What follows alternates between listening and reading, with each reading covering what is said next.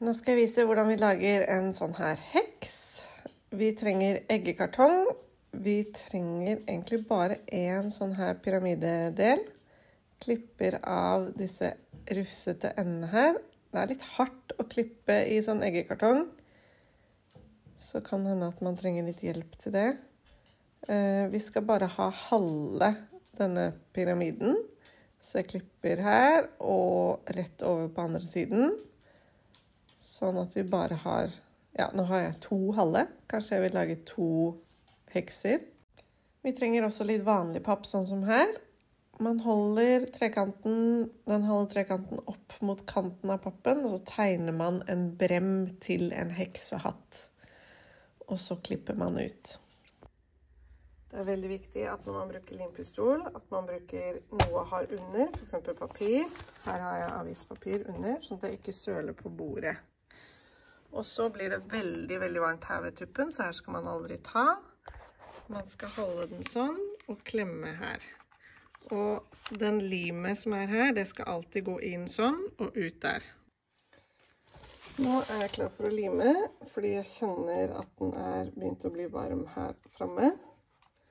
Og da når jeg skal lime, så klemmer jeg forsiktig ut litt lim.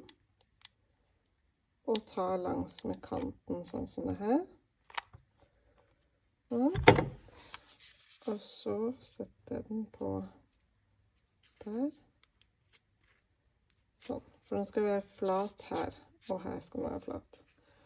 Og så må vi male den svart over hele, før vi limer den også på kortet vårt.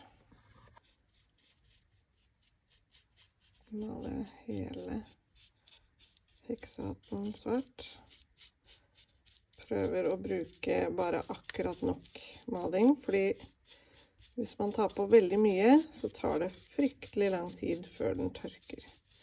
Så det du har tatt på her nå, jeg har tatt på en del på siden her, det må man liksom smøre utover litt. Nå skal jeg starte har, Først har jeg bretta den inn sånn på midten. Og så bretter jeg den en til på midten. Og så skal jeg klippe her hvor det er sånn åpninger. Og da vil jeg ha den der ute først, og så klipper jeg inn og ut. Så vil jeg runde av hjørnet her. Og inn og ut. Så bretter jeg den opp for å se. Nå er den jo lik i alle hjørner, og den ser ganske kul ut, synes jeg. Nå trenger jeg en form til å ha i midten her. Nå tenkte jeg kanskje, ja, jeg vil ha den her. Da bretter jeg den også sånn. Og sånn. Skal se. Jeg skal, ja, jeg bruker bare den biten her. Klipper den da ganske rett, og så runder jeg hjørnet, og så klipper jeg rett. Så den er bare rund på det ene hjørnet her. Når jeg bretter den opp da, så har den rundt hjørnet, rundt hjørnet, rundt hjørnet.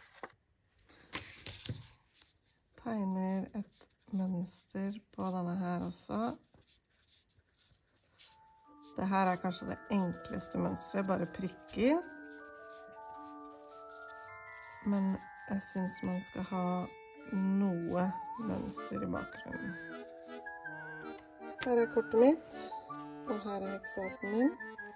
Den skal sitte ca. her, for jeg skal ha hode og kropp til heksen her nede. Så da må jeg lime bortover her, og kanskje litt oppover her. Og så fester den. Så da tar jeg litt inn her. Nå var det Nå limer jeg litt bortover der, og litt oppover her. Sånn. Pass på å gjøre det litt fort før det tørker. Setter den cirka midt på, sånn at den bremmen er midt på. Sånn. Da er jeg ferdig med det. Nå skal disse heksehattene her få hode og kropp. Her er hodet. Og så kan jeg lage en kropp. Her kan jeg kroppen. Kanskje den må være litt mindre. Sånn. Da kan jeg lime den der. Og hodet på der. Og så kan jeg begynne å tegne på ting på hodet.